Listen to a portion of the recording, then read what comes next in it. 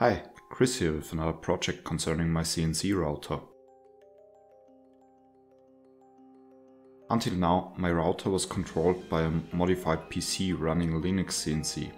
This thing was rocking an Intel Pentium CPU, which was already obsolete when I built the machine years ago. Now it seems to lose the last little bit of life left in it, so I needed to look for a new solution. Since I grew to like Linux CNC, I wanted to be able to use that G-code interpreter. This meant that the system needed to run Linux as an OS. In addition, I wanted to design a solution that is cheap and a lot more compact than my old one.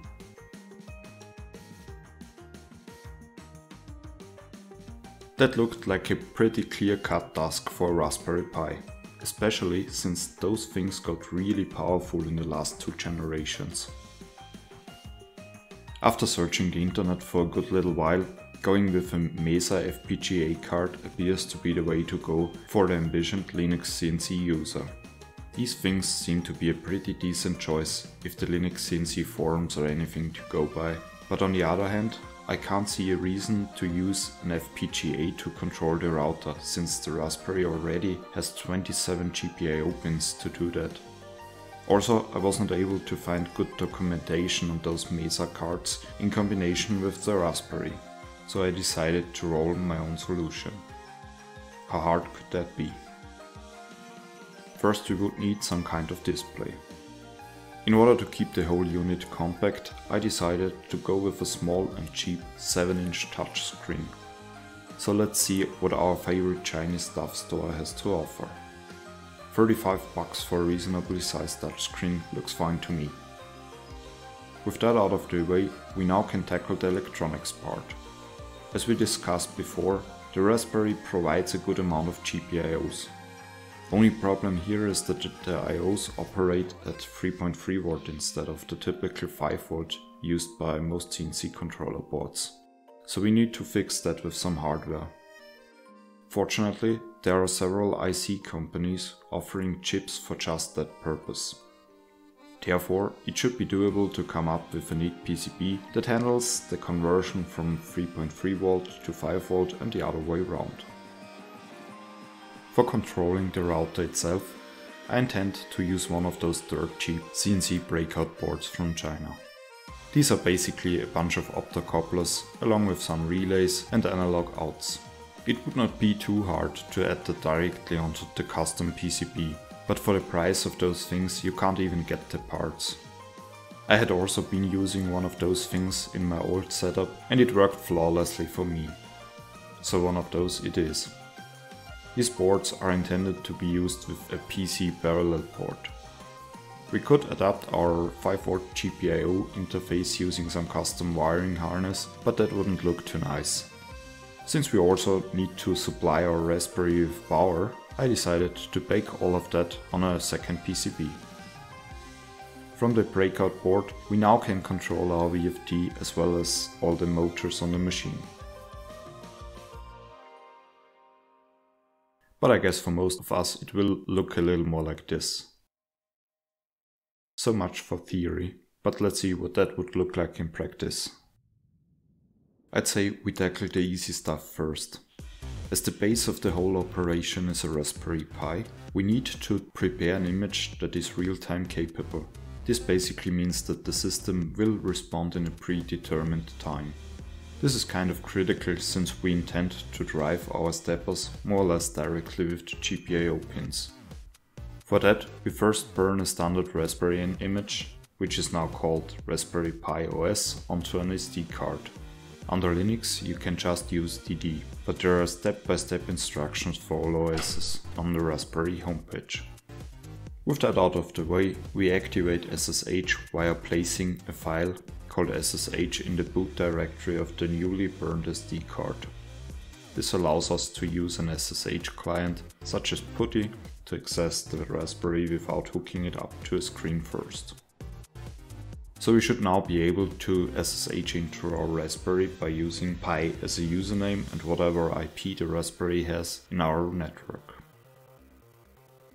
Seems to work flawlessly.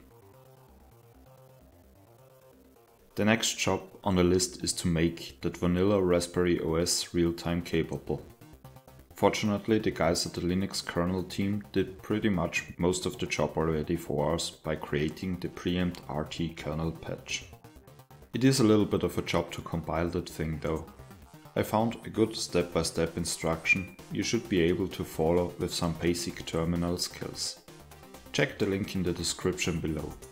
It will take a while, but in the end you will end up with a patched kernel. Now we copy the file onto our SD card. In this case I did it over the network using SCP. After SSHing into our Raspberry, we prepare the new kernel and switch out the kernel. This whole process is also described in the link below, so I won't bother you with the details. But we need to check if all the effort worked out for us. The simplest way is to check if the kernel version contains RT in a version name. The tutorial also explains a way to check the real-time characteristics using a cycle time plot. But for the sake of keeping this video relatively short, I will just go on with the next part, which is installing Linux CNC. I did hope to find a repo, or at least a deb package. Unfortunately, I had no luck there, so building from source it is. If you do that on a fresh installation of Raspberry OS, you probably will need to install a whole bunch of dependencies first. Just check the GitHub page and follow the build instructions. Also, by the way, make sure not to do a distro upgrade, since that would reverse all the hard work we just did. Building Linux CNC should be pretty straightforward if you stick to the instructions from GitHub. I'll also put the link to the repo in the description.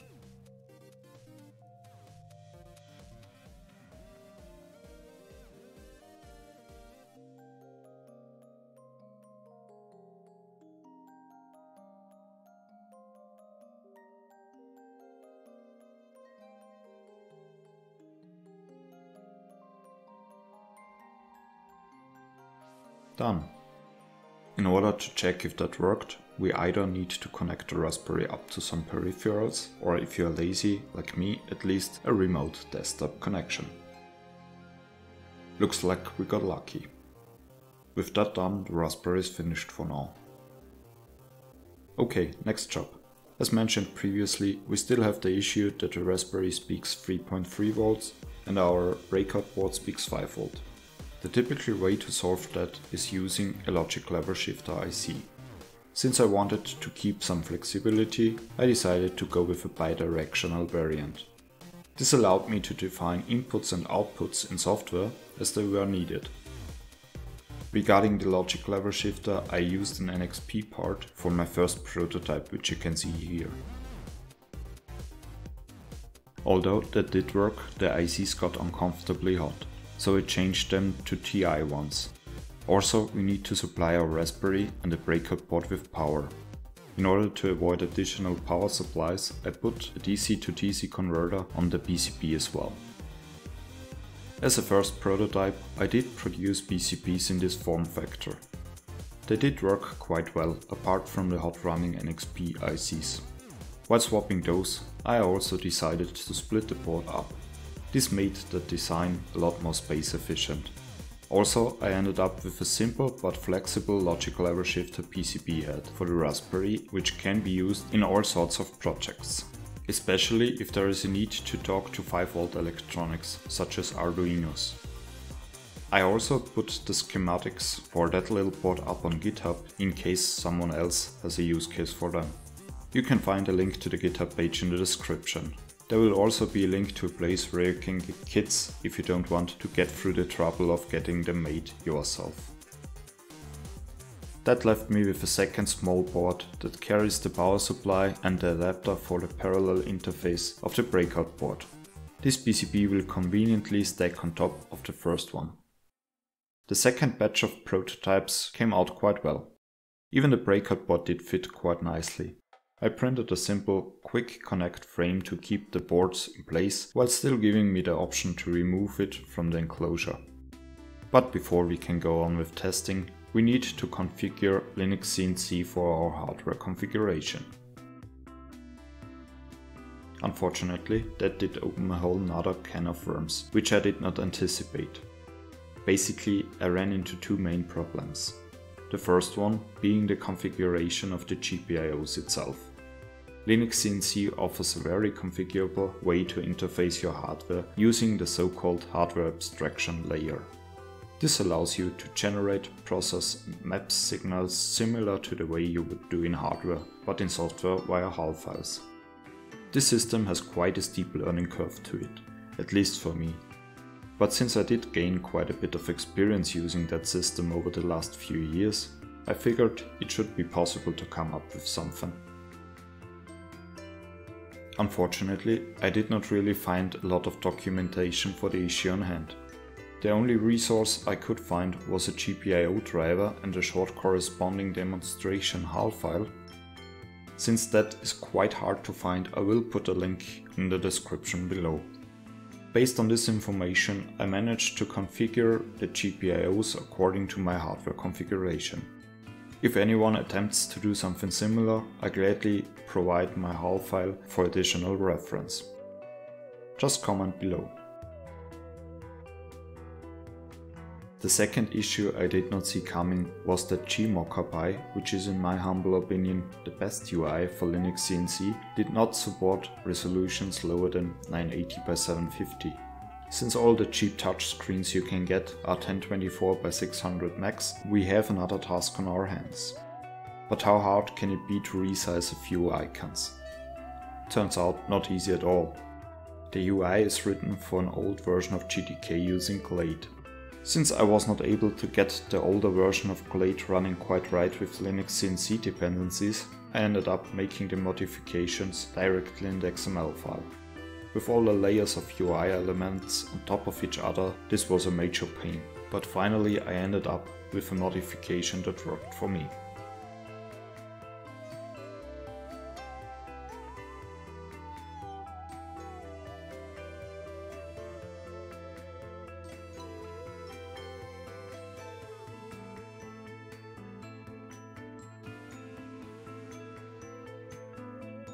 Now it's time to think about an enclosure. In my typical manner, I ordered an electrical cabinet that seemed to be able to hold the necessary electronics to control my CNC without much planning.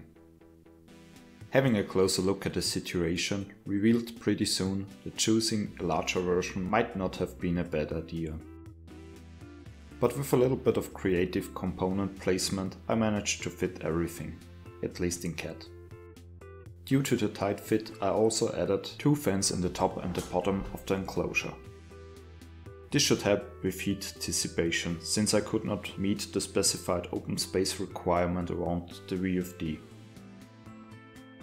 That should prevent any unforeseen fiery messes, at least I hope so. If you intend to do something similar, I would strongly advocate for a larger enclosure. In order to keep the length of this video somewhat bearable, I did the preparation of the cabinet off camera. I basically mounted the touchscreen as well as a few buttons. With the quick connect for the control unit mounted on the backplate, we can already test the UI. Now there's just one more thing to do, which is to check if all that stuff will actually fit in there. Since I did the design work in CAD, the assembly was quite straightforward. As a reference, I printed out the hole pattern in a 1 to 1 scale, transferred and drilled the holes and mounted the stepper drivers, power supplies and the VFD.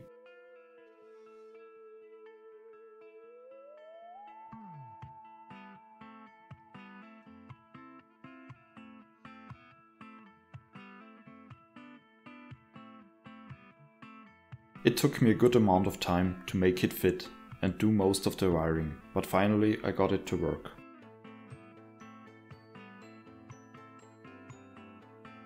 After final round of testing, the hardware part is mostly done. So we can attach the unit to the machine and wire the steppers and the spindle in. So let's see what we ended up with. Does not look too shabby in my opinion.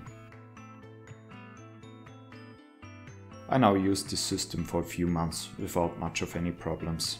During this time the machine had racked up probably around 80 machine hours. Surely that is not conclusive in terms of a long duration test, but it's a good first step.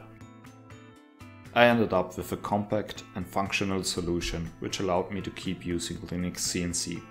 In terms of cost, the project is a little less clear cut. Overall material costs are pretty low, but the amount of work involved in getting the whole system to run would probably justify buying some sort of an integral machine controller.